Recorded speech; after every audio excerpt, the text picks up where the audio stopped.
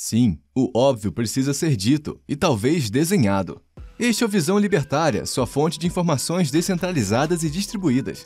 O órgão máximo do Poder Judiciário no Brasil, na segunda-feira, dia 8 de abril do ano de 2024, finalmente decidiu por 11 a 0, ou seja, por unanimidade, contra a interpretação da norma constitucional da qual dispõe o artigo 142, sobre as Forças Armadas supostamente terem a função de poder moderador no Brasil. A maioria dos votos para contrariar essa interpretação havia sido formada no dia 1 de abril de 2024, embora por uma questão de formalidade ainda faltavam outros cinco ministros manifestarem os seus respectivos votos. O ministro Gilmar Mendes declarou que o tribunal está reafirmando o que deveria ser óbvio. Aspas, a hermenêutica da baioneta não cabe na Constituição. A sociedade brasileira nada tem a ganhar com a politização dos quartéis, e tampouco a Constituição de 1988 o admite. Fecha aspas, afirmou o ministro. O plenário está julgando uma ação promovida pelo Partido Democrático Trabalhista, PDT, no ano de 2020, com o intuito de impedir que o artigo 142 da Constituição Federal de 88 seja utilizado para justificar o uso do Exército, da Marinha Marinha e da Aeronáutica para interferir no funcionamento das instituições democráticas no Brasil.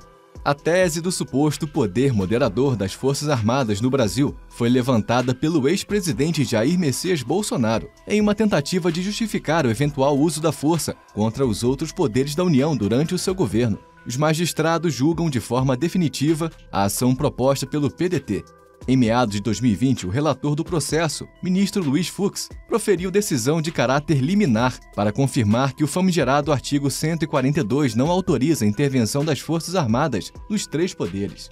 Pelo texto da norma constitucional, as forças militares do Brasil estão sob o poder do presidente da República e têm por objetivo a defesa da pátria e a garantia dos poderes da República. Além do ministro relator do processo, Luiz Fux, todos os demais ministros votaram no mesmo sentido. Em seu voto, o ministro Flávio Dino afirmou que não existe um poder militar no Brasil. O julgamento é realizado em plenário virtual. Nesta modalidade, os ministros proferem os votos no sistema eletrônico da Corte e não há sessão presencial. Após a repercussão, o comandante do Exército, o general Tomás Paiva, se manifestou favorável ao entendimento manifestado pelos ministros de que as Forças Armadas não são um poder moderador conforme o general, que com veemência manifestou seu apoio à Suprema Corte e ainda acrescentou que cabe ao tribunal realizar a correta interpretação da Constituição. Ainda, um oficial de alta patente acrescentou à fala do general Tomás que este é o posicionamento da maior parte dos militares. Abre aspas, poder moderador só Dom Pedro II, fecha aspas. Voltando ao mundo real, já não é de hoje que os conhecidos por bolsonaristas ou gado verde-amarelo imploram por uma intervenção das Forças Armadas no Brasil argumentando que o artigo 142 da Constituição Federal de 1988 autoriza o uso da força para tomar o poder, como um golpe de Estado constitucional.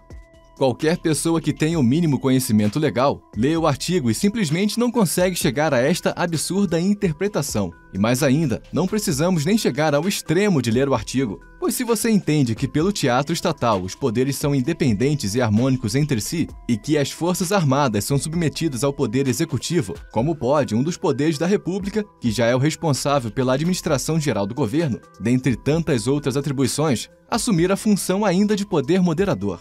Não é possível defender de maneira lógica esta função às Forças Armadas, a partir do momento que, em última análise, esta seria a função do Executivo.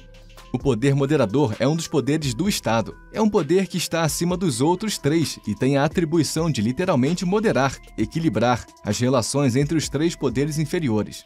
A tese do poder moderador foi elaborada pelo pensador francês Henri Benjamin Constant de Rebec sua corrente de pensamento acrescenta um quarto poder à teoria da tripartição dos poderes, do Barão de Montesquieu, outro filósofo francês. Segundo a tese do poder moderador, existiram quatro poderes: o poder moderador, poder real, o poder executivo, exercido pelo primeiro-ministro, o poder legislativo, exercido pelo parlamento, e o poder judiciário, exercido pela respeitosa Suprema Corte. O poder moderador foi instituído no Império do Brasil pela Constituição Imperial de 1824 e foi exercido pelos imperadores Dom Pedro I e Dom Pedro II. Tem como atribuição moderar os demais poderes, interferindo, quando necessário, nas atribuições de cada um, para que não haja sobreposição de um poder sobre o outro, bem como para que nenhum dos poderes se sobreponha à vontade popular. O imperador tinha o poder de nomear, quando o partido do pretendente ao cargo de primeiro-ministro possuía a maior parte das cadeiras do parlamento, ou destituir, quando o parlamento der voto de desconfiança ao chefe do poder executivo, o primeiro-ministro. Em casos específicos, poderia dissolver o Congresso Nacional e, no mesmo ato, convocar novas eleições. E, por fim, poderia nomear os ministros da Suprema Corte, indicados em lista apresentada pelo Poder Judiciário, em geral dentre os magistrados de carreira. Após breve contexto, já podemos perceber que o tal poder moderador se trata de um outro poder, autônomo e superior aos demais, necessariamente. Não se trata de um órgão que está submetido a um dos poderes, portanto, abaixo deste, a ser designado como moderador dos poderes.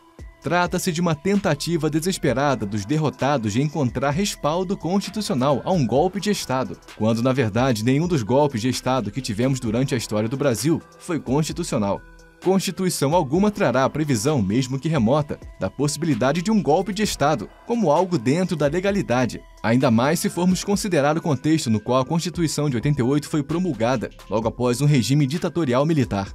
Vejamos o artigo 142 da Constituição da República Federativa do Brasil, de 5 de outubro de 1988. Abre aspas. Artigo 142. As Forças Armadas constituídas pela Marinha, pelo Exército e pela Aeronáutica são instituições nacionais permanentes e regulares, organizadas com base na hierarquia e na disciplina, sob a autoridade suprema do Presidente da República, e destinam-se à defesa da pátria, à garantia dos poderes constitucionais e, por iniciativa de qualquer destes, da lei e da ordem. Fecha aspas. O artigo em si é autoexplicativo. Damos ênfase ao seguinte trecho, abre aspas, estão sob autoridade suprema do presidente da República, fecha aspas. Ou seja, não há o que se falar aqui em poder moderador das Forças Armadas, lembrando que este, o moderador, deve estar acima dos outros, não sob a tutela de um deles. O poder moderador foi abolido no Brasil após o golpe de Estado de 15 de novembro de 1889. Se formos adentrar o teatro estatal, partindo do pressuposto hipotético de que uma forma de governo é de fato necessária e analisar as estruturas de ambas as formas de Estado, podemos chegar à conclusão de que um poder moderador nas mãos de um imperador seria muito mais favorável às pessoas, se fôssemos resgatar os moldes aos quais ele era exercido no passado, do que a nossa atual república. Em primeiro lugar, não veríamos um ministro censurar pessoas na internet por discordarem da sua ideologia ou da ideologia dos seus protegidos, por exemplo. Nem veríamos políticos da Suprema Corte do Estado brasileiro, como acontece no Brasil atual, em que o réu indica o seu julgador.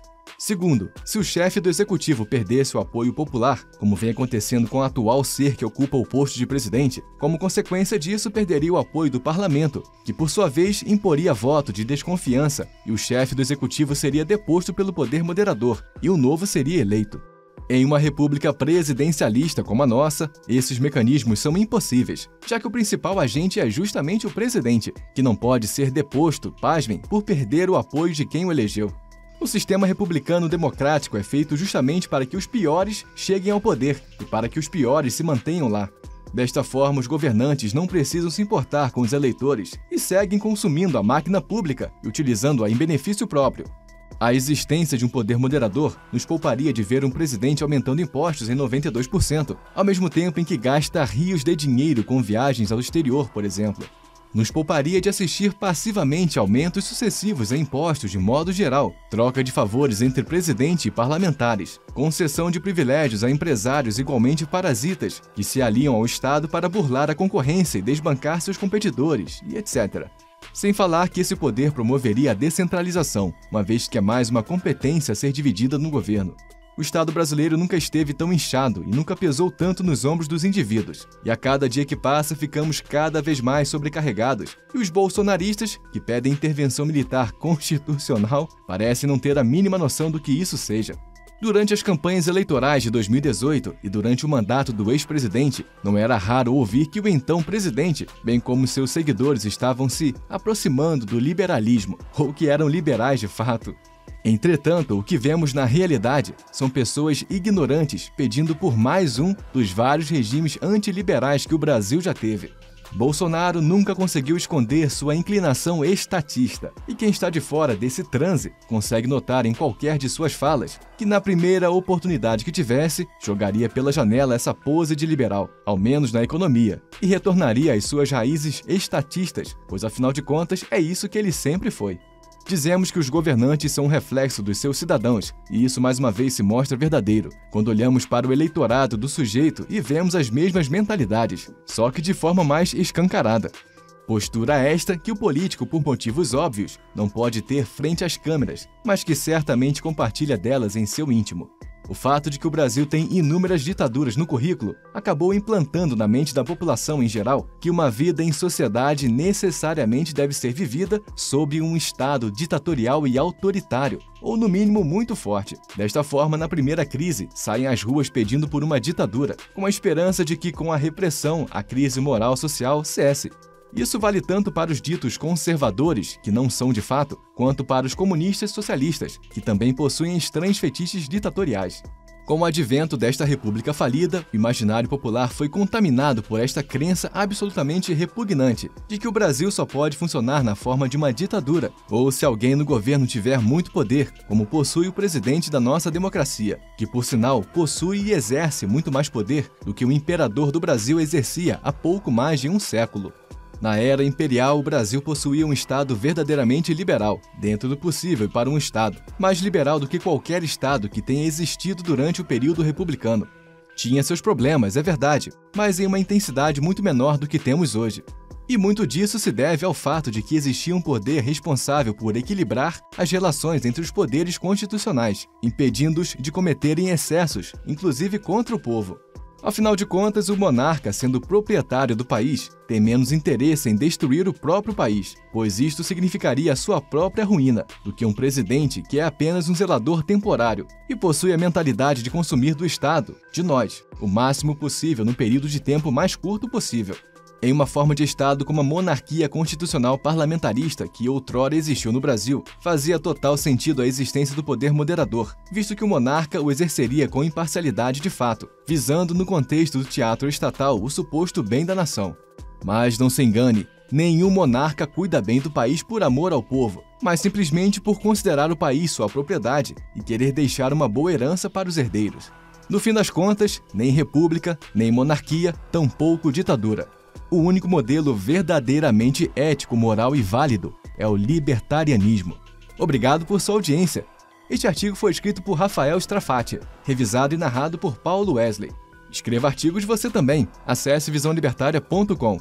Se você gostou do vídeo, compartilhe em suas redes sociais. Caso deseje ser avisado de outros vídeos, inscreva-se no canal e depois clique no botão da campainha. Até a próxima!